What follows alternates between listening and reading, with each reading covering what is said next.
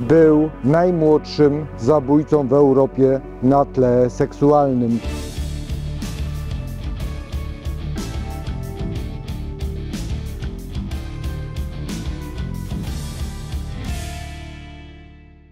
Cześć, witamy w kolejnym odcinku Kryminalnego Patrolu. Dzisiaj historia, która wydarzyła się dwa lata temu. E, 24 maja 2021 roku 18-letnia Magda wsiadła na swój skuter, miała pojechać do sklepu, zrobić jakieś tam zakupy, ale już z tego sklepu nie wróciła. E, Magda była taką normalną e, dziewczyną. Wychowywał ją ojciec, miała także dwie siostry. E, Chodziła do drugiej klasy liceum w Gryficach. Miała swoje marzenia, chciała zostać psychologiem. Mm, W każdym razie, no, kiedy Magda zaginęła, oczywiście wszyscy zaczęli jej szukać. I rodzina, i sąsiedzi, cała okolica. Mm, Magda mm, pojechała do Kamienia Pomorskiego. To jest sąsiednia miejscowość, ale niedaleko też mieszkała około 4 km od Sulikowa. I właśnie ta miejscowość ma istotne znaczenie w tej sprawie. Zapraszam Was do oglądania kolejnego odcinka.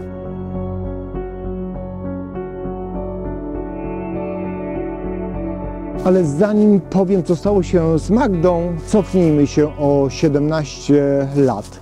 To jest rok 2006, dokładnie 20 czerwca. 20 czerwca to był ostatni dzień nauki. Sylwia wtedy miała zaledwie 13 lat, więc była dzieckiem. Sylwia chodziła do szkoły w Gostyniu. Ostatni dzień nauki, 20 czerwca, Sylwia tradycyjnie dojeżdżała z tego swojego Sulikowa, dojeżdżała do Gryfic autobusem, ale tego dnia, ponieważ ten dzień był piękny, postanowiła przejście i wrócić na piechotę do domu. Miała do przejścia około 3 km. Pogoda piękna, jak Wam powiedziałem, niedaleko morze. Miała dobry nastrój, więc poszła na taką swego rodzaju wycieczkę. Niestety tego 20 czerwca już do domu nie doszła. Rodzice zastanawiali się, co się mogło stać, ponieważ Sylwia była bardzo sumienna, e, taka obowiązkowa, no niemożliwe, żeby gdzieś po prostu sobie poszła i nie powiedziała o tym rodzicom. Dlatego też zaczęto jej szukać, zaczęli szukać rodzice, sąsiedzi, znajomi. Do tego przyłączyli się także i strażacy.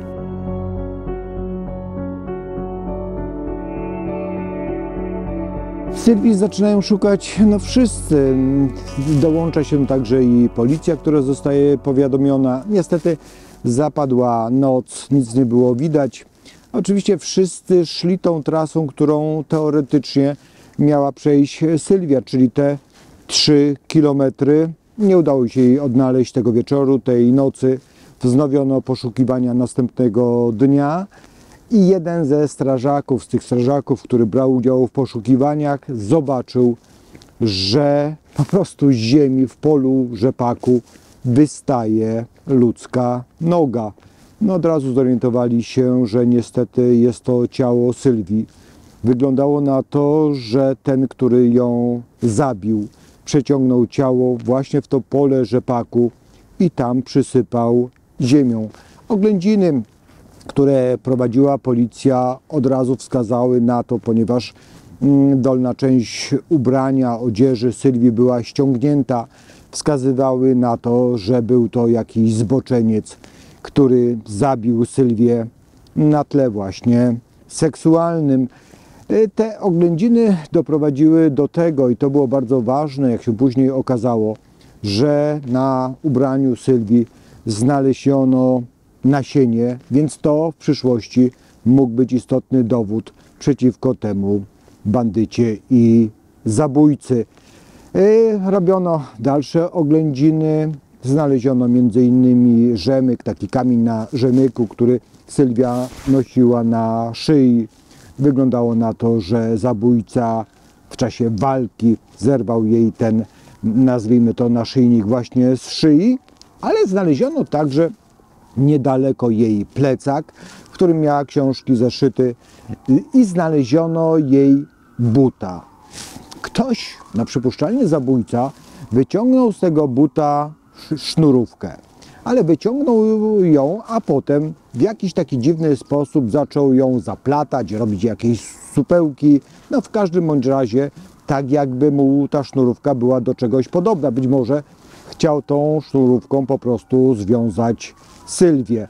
Potem okazało się, że to był bardzo istotny ślad w tej sprawie, ta właśnie e, sznurówka. E, Było wiadomo, że sprawca zaatakował, tak przynajmniej wyglądało z tych zabezpieczonych śladów, zaatakował w momencie, kiedy Sylwia miała do przejścia jeszcze około kilometra, przeszła więc od szkoły y, d- tą drogą około dwóch kilometrów, że przypuszczalnie została zabita w tym miejscu, y, gdzie została zaatakowana, a bandyta ją udusił.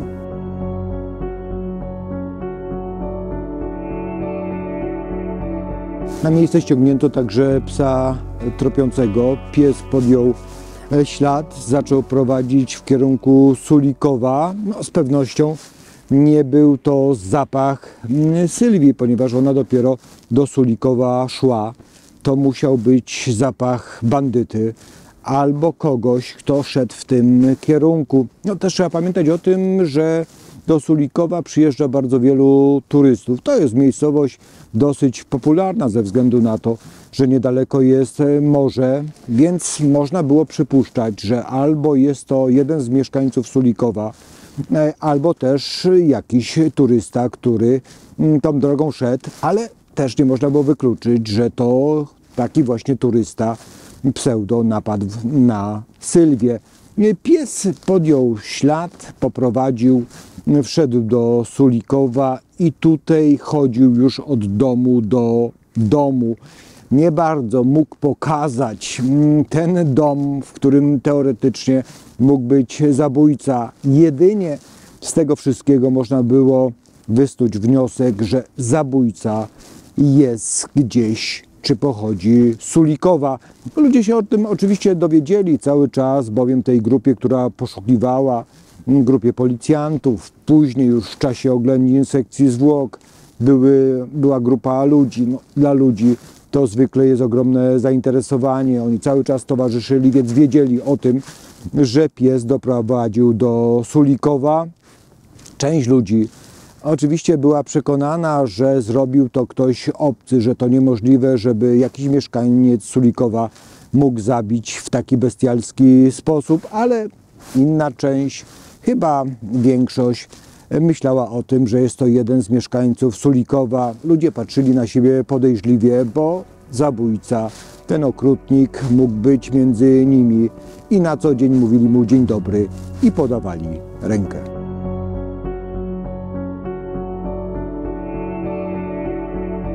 Policja zaczęła typować potencjalnych zabójców. Niestety w- w jakimś takim kontekście na pierwszy ogień poszedł ten strażak, który znalazł ciało. Mm, Dowiedzieli się bowiem, że ten strażak bardzo mocno to wszystko przeżywa, jest w jakiejś traumie, nie śpi.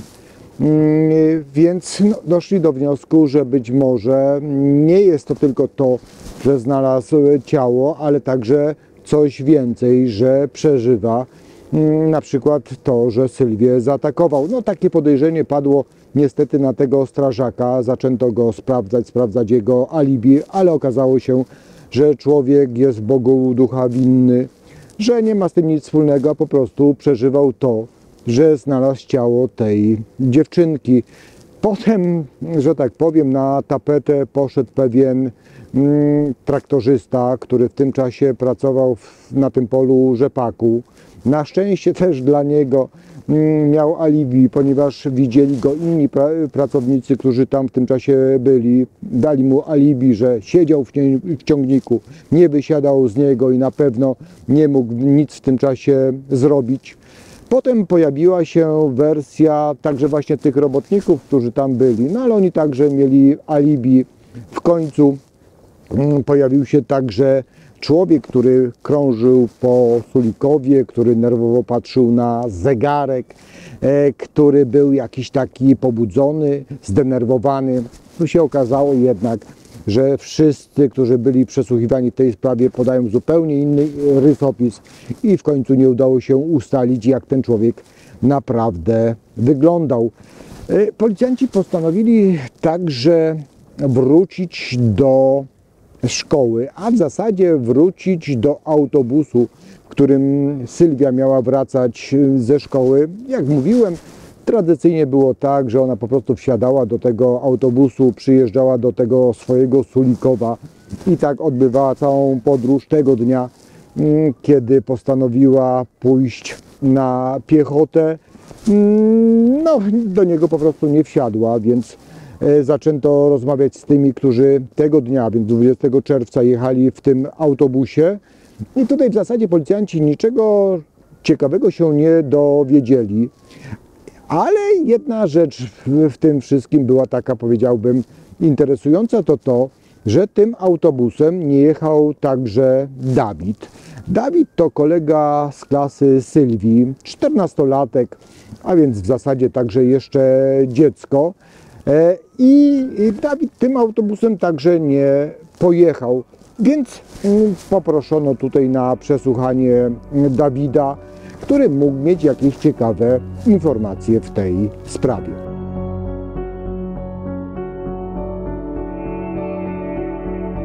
A Dawid, ten kolega Sylwii, też mieszkaniec Sulikowa, powiedział, że tak, owszem, 20 czerwca widział to, że Sylwia nie wsiadła do autobusu, że poszła piechotą w stronę Sulikowa.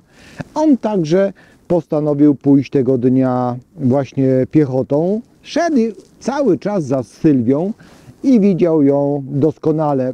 Był w jakiejś odległości m, kilkuset metrów, może trochę mniej i powiedział, że w którymś momencie z dużą szybkością wyprzedził go sportowy czarny samochód. Ten czarny sportowy samochód zatrzymał się obok Sylwii, a z samochodu wysiadł młody, szczupły mężczyzna. Chwilę rozmawiał z Sylwią, a potem Sylwia wsiadła do tego samochodu i odjechali. Dawid powiedział, że chciał jeszcze nawet się z nimi zabrać, machał ręką, ale kierowca na to nie zwracał uwagi i po prostu odjechał. Nawet kiedy przyszedł do domu, Dawid mm, tak zeznawał, powiedział rodzicom, że to ze strony Sylwii bardzo nieodpowiedzialne, że wsiada do samochodu z przypuszczalnie obcym mężczyzną. Ale Dawid niewiele powiedział, oprócz tego, że był to sportowy, czarny samochód, nic więcej nie zapamiętał, jedynie jak powtarzał, była to wypasiona fura.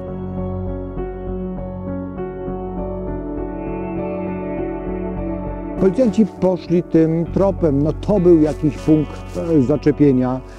E, Mniej więcej samochód, mniej więcej rysopis mężczyzny. Zaczęli jeździć, szukać i faktycznie sprzedawczyni jednego ze sklepów powiedziała, że tego dnia taki samochód zatrzymał się przed sklepem, że wysiadł z niego mężczyzna w wieku około 25 lat, że w środku przypuszczalnie jeszcze ktoś y, siedział i wszystko wskazywało na to, że to jest ten człowiek, którego policja poszukiwała. Nie widząc innego wyjścia, policjanci nagromadzili mnóstwo różnego rodzaju zdjęć, katalogów, w których były samochody, e, licząc na to, że te samochody, te zdjęcia pokażą jeszcze raz Dawidowi i być może on sobie jeszcze coś przypomni. Poprosili go na kolejne takie przesłuchanie, mając te wszystkie katalogi i zdjęcia przez pół dnia, pokazywali mu różne marki samochodów.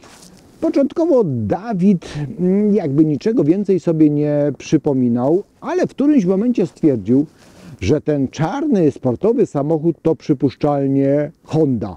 Mało tego, przypomniał sobie jeszcze część tablicy rejestracyjnej, a w końcu przypomniał sobie także, że na antenie była zawieszona żółta wstążeczka. No to już było mnóstwo informacji.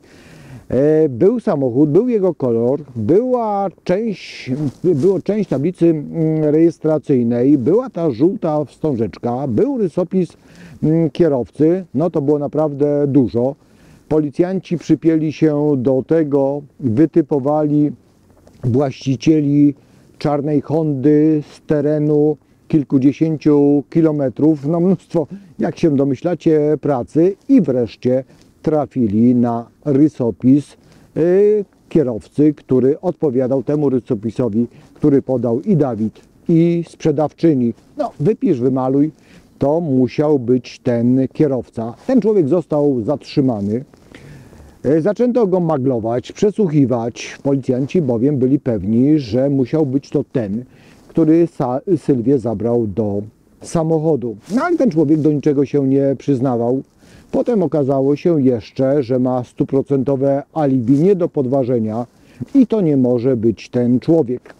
Z punktu widzenia śledczych oczywiście była to swego rodzaju porażka, no, ale postanowili oczywiście walczyć e, dalej.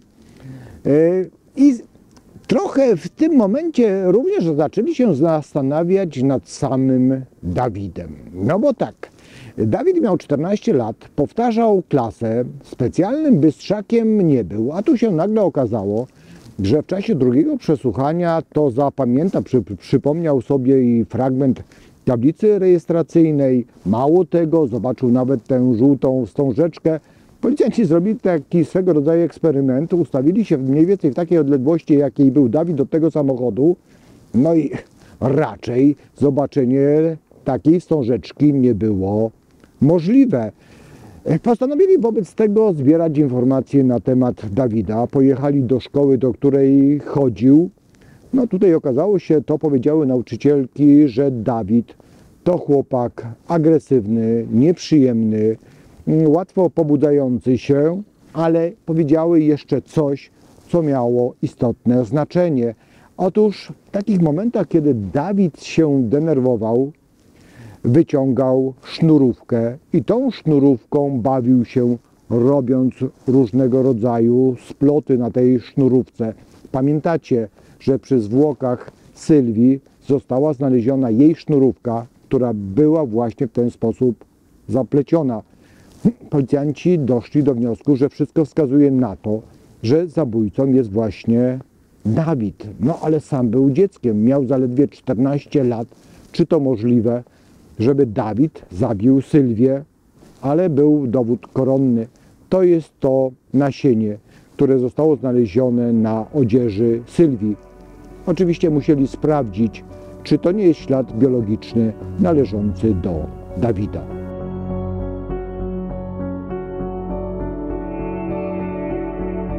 Nie było wątpliwości, to było DNA należące do Dawida. Wszystko wskazywało na to, że to on zabił, udusił e, Sylwię, a potem ją zgwałcił. E, Został zatrzymany, przyznał się, przyznał się do tego, że zabił. Powiedział, że Sylwia od dawna mu się podobała, że tego dnia, 20 czerwca, widział, że nie wsiadła do autobusu, że idzie w kierunku Sulikowa. Postanowił za nią pójść. Kiedy byli mniej więcej kilometr od tej miejscowości, mm, podszedł do niej, zaproponował seks, ale kiedy oczywiście dziewczynka odmówiła, rzucił się na nią, e, udusił, rozebrał, a potem zgwałcił. Widział ludzi pracujących na polu rzepaku, widział tego traktorzystę, widział inne osoby, które tam był. Oni nie widzieli jego. Przyczaił się jakiś y, czas, potem poszedł do domu, ale wieczorem wrócił, przeciągnął ciało i przysypał ciało Sylwii ziemią, a potem wrócił do domu.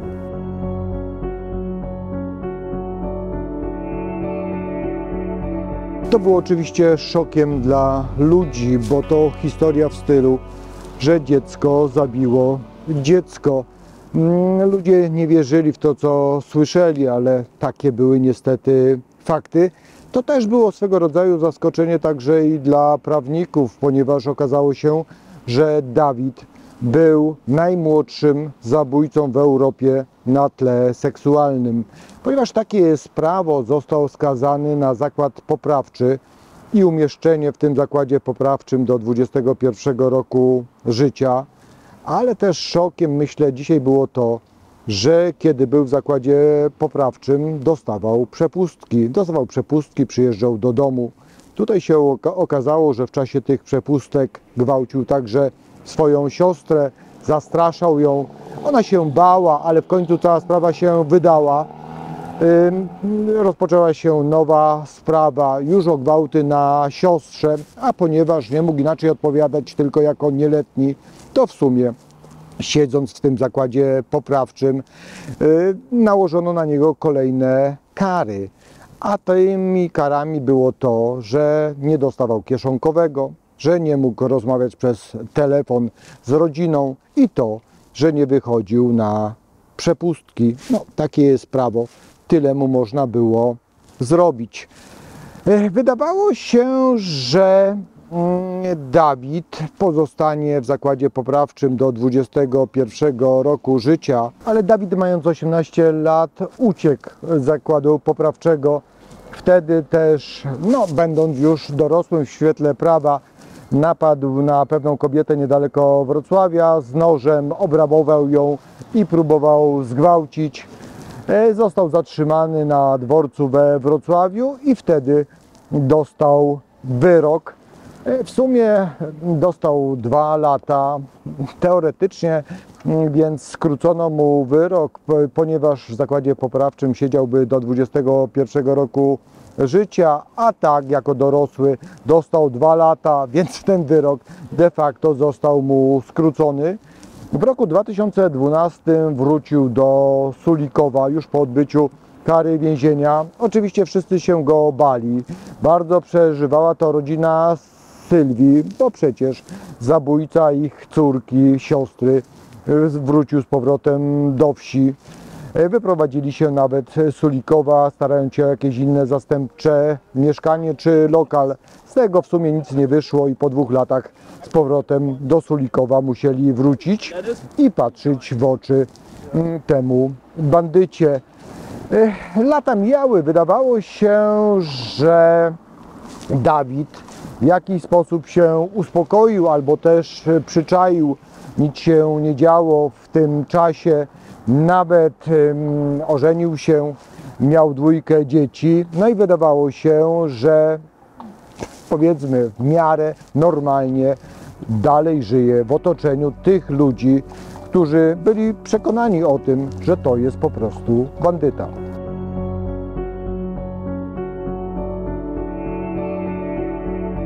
W zasadzie nic się nie dzieje przez 15 lat, no, mnóstwo czasu, aż do 24 maja 2021 roku. I tutaj wracamy do historii Magdy, która tego dnia swoim skuterem pojechała na zakupy. Magda do domu już nie wróciła, więc rozpoczęły się oczywiście poszukiwania. E, Powiadomiono także policję i tutaj policja szybko dosyć ustala, że Magda pojechała właśnie do tego sklepu, odnaleźli jej skuter, odnaleźli także zapisy z monitoringu i widać, że Magda wsiada do czarnego samochodu, który zatrzymał się obok tego sklepu i obok jej skutera. Y, Wysiada z niego młody mężczyzna, w środku jeszcze ktoś siedzi. Tym młodym mężczyzną, który wysiadł z samochodu i zaprosił Magdę, aby wsiadła, był Dawid. Ten sam Dawid, który 15 lat wcześniej zabił Sylwię. Samochód odjechał. E, Policjanci szybko zatrzymali Dawida, zaczęli go przesłuchiwać i Dawid przyznał się. Przyznał się tym razem do zabójstwa Magdy. Powiedział, że zobaczył ją przed sklepem, że nie mogła uruchomić swojego skutera, ale biorąc pod uwagę to, że Magda kilka dni temu odebrała skuter od mechanika, wygląda na to, że Dawid celowo zepsuł jej skuter po to, żeby szukała pomocy. No tak się zresztą stało. Magda wsiadła do samochodu być może również dlatego, że w środku siedział jej kolega, kogoś, kogo znała. Cała trójka odjechała przed sklepu. Niestety ten kolega e, wysiadł wcześniej. Magda została sam na sam z Dawidem, kiedy wjechali w las.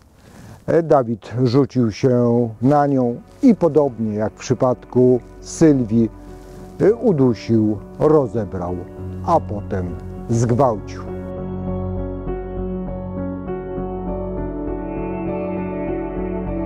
Jedna grupa szukała Magdy, druga grupa mm, policjantów przesłuchiwała Dawida, więc kiedy Dawid się przyznał, dali sygnał tamtym, gdzie mniej więcej może leżeć ciało i rzeczywiście ci mając już psy tropiące znaleźli ciało Magdy. Ono było po prostu w lesie przykryte e, gałęziami.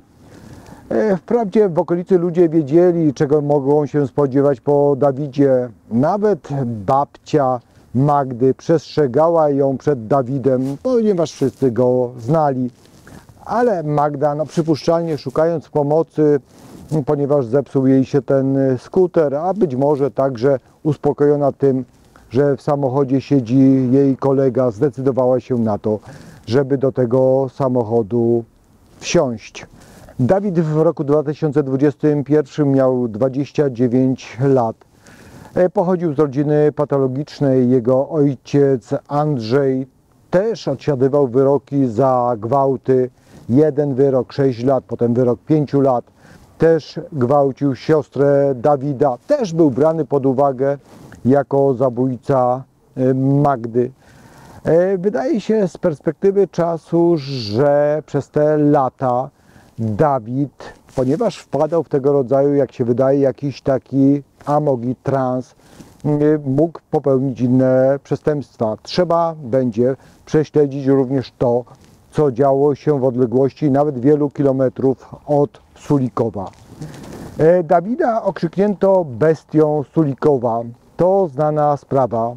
Dostał wyrok dożywotniego więzienia. Będzie mógł się ubiegać o przedterminowe zwolnienie po 35 latach.